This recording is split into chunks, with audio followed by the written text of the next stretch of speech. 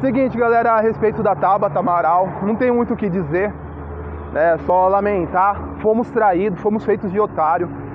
Né? Achamos, achamos errado otário, nesse caso. Não tem, né? Já discuti com muita gente, discuti não, entre aspas, né? Eu defendi a Tabata contra pessoas que eu gosto muito, né? Por exemplo, o Glaucio Gonçalves, Adão Bispo, o Humberto do Saia da Matrix. Várias vezes que ele criticou ela, eu fui lá nos comentários, falei, não, não é bem assim, veja bem e tal. Quem mais? É. O André Teixeira Jacobina, né, da nova máquina do tempo também, fui lá, falei, falei assim, olha, não é bem assim. A Tabata Amaral defende uma reforma da Previdência, mas o PDT tem uma reforma da Previdência. Eu acredito que ela estava falando dessa reforma da Previdência do PDT. E na hora H ela iria votar contra.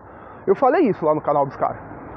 Tá? Eles vão lembrar disso. No canal, no Adão Bispo lá direto, ele postava coisa lá no, no grupo dele do Facebook, eu ia lá defendia. Então, cara, eu tô, tô me sentindo extremamente traído. Beleza? Uh, acho que mais traído assim que nós, eleitores, talvez esteja o Ciro Gomes.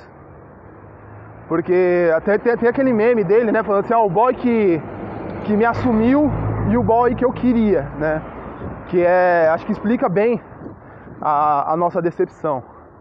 Então eu espero que a Tabata peça para sair, para a gente poder ficar pelo menos com o mandato dela, porque ele nos pertence, ah, o mandato pertence a nós, trabalhadores, porque por mais que falam, ah, e ela, ela trouxe votos, ela não trouxe bosta nenhuma pro PDT, beleza? Quem elegeu a Tabata foi o Ciro Gomes. Esse negócio aí do acredito não elegeu ela bosta nenhuma.